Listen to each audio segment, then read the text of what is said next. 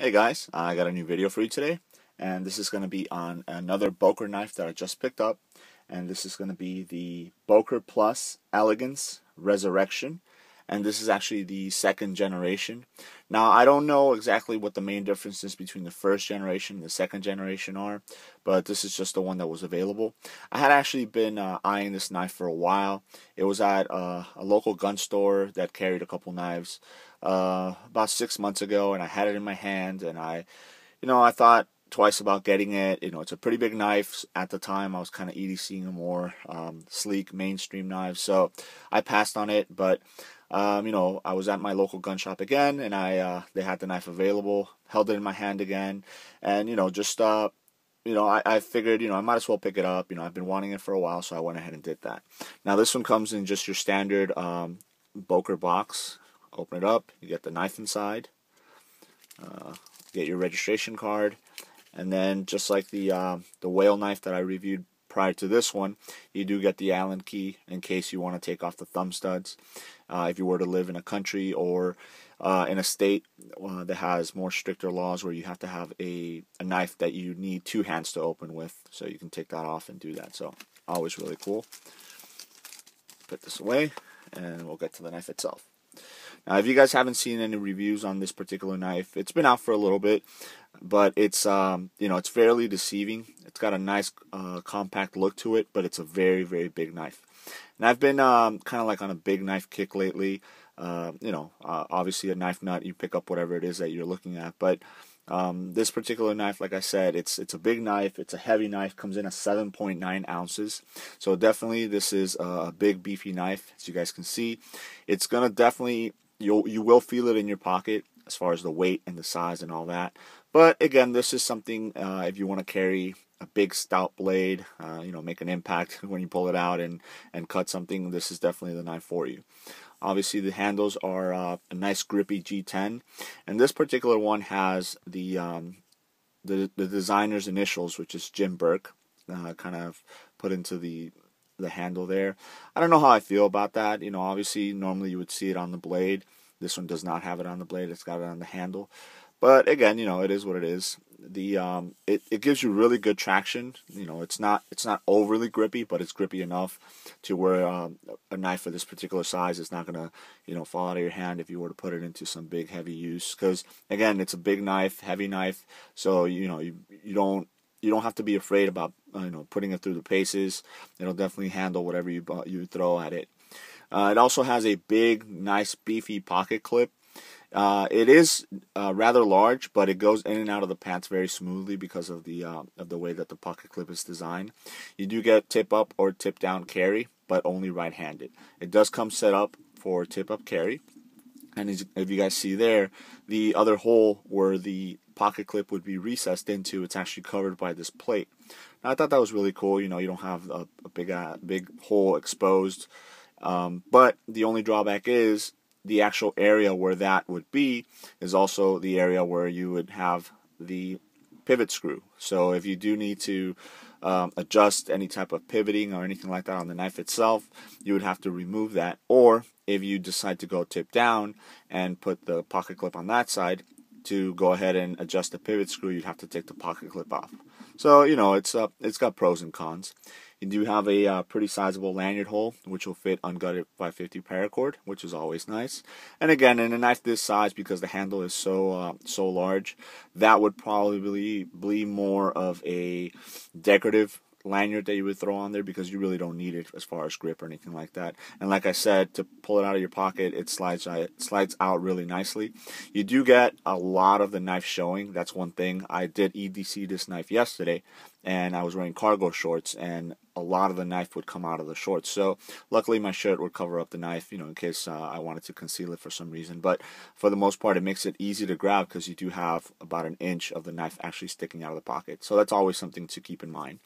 Uh, you do also have this aluminum backspacer, which is uh, supposed to, to be there to uh, optimize the balance of the knife. It gives it a nice look to it. You know, it's obviously it sets off the black with the uh, aluminum aluminum color, and then it almost finishes off in this uh, this kind of small um, little area that pops off from the from the bottom of the knife. Uh, you you can use that as an impact device. So if you wanted to uh, to go ahead and uh, as a you know maybe a, a blunt tip to uh, to defend yourself. Uh, I'm not sure how it would do to you know try and break glass with it because it is rounded. It's not very pointy, but for the most part, it sticks out just enough to be able to be used, but not enough to you know to come into contact with the hand or to bother you know the use of the knife itself. So that's always definitely nice. Go ahead and open it up. You do have the ambidextrous thumb studs, and as you guys can see there, it's a pretty stout blade. Really nice recurve and belly on there, and you get that swedge on the top, which actually helps with the uh, penetration on there. Uh, Boker Plus logo on one side, and then uh, 440C on the other, as you guys see there. So obviously pretty good steel. Um, again, the uh, the weight of this knife here it is in my hand as you guys can see but it's it's the main the key thing that you will find that it is a pretty stout knife but you know because of the of how how wide the blade is you're definitely not going to hurt this knife to uh, to use it from anything to opening up boxes to you know maybe uh, you know harder use you do have jimping on the top which is uh, grippy enough you know your thumb does lock in there but you know your hand isn't going to go anywhere this is also a liner lock knife. So as you guys can see there, there is some uh, ridges on the liner lock itself. So it does catch your thumb if you do have to uh, disengage it, or when you have to disengage it, let's just say. Uh, there is no cutout, so you actually physically have to stick your thumb in there to be able to to to disengage it. But it disengages very nicely, and the lockup is tight. No blade play whatsoever, up, down, left, and right. And then you disengage, and it closes smoothly. It also opens up very smoothly, and as you guys heard there, you know, locks up very nice, very nicely. The blade is actually three and three fourth inches, so you do have um, a pretty good EDC length blade there. Again, for whatever it is that you would have to uh, have to use it for, and uh, overall it's nine inches. So, it, like I said, it's a it's a nice stout, wide, heavy knife. Um, so, you know, this is definitely something uh, to think of uh, if you want to maybe throw it into a pack as a secondary um, EDC knife, maybe an alternative to not having a fixed blade. You know, if you want something big, but uh, you know that has the feel of a fixed blade, but not a fixed blade, this would you know so, somewhat fit that bill. Again, it just depends on what you would need it for. So I always try and come and bring in another knife by way of comparison as far as size goes.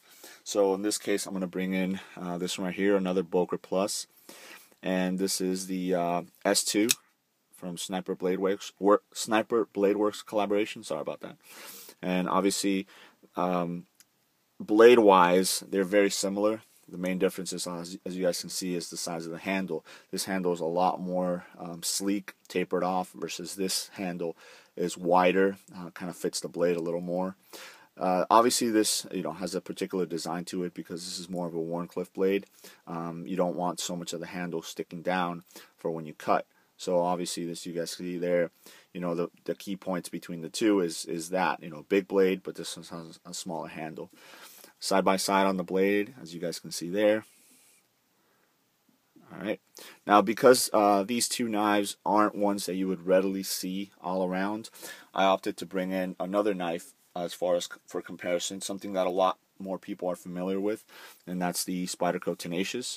And basically, this is so you guys can see uh, reference on the size of the knife itself.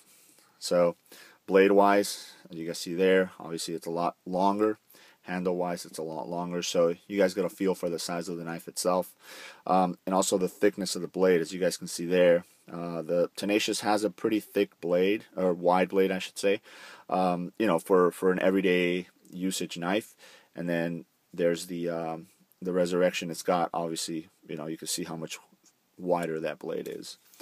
Here we go, um, side by side, so you guys can see the thickness of the blade, and then the thickness of the actual um, handle with the uh, with the liners and the scales and everything on there. So again, you know, this is uh, it's not a knife for somebody that's looking for a light EDC carry knife. This is, you know, a heavy workhorse knife. Um, it's it's a good transition from you know something medium size to large size, but maybe you don't want to jump up to uh, the price point of maybe a ZT. This would be a good alternative to that.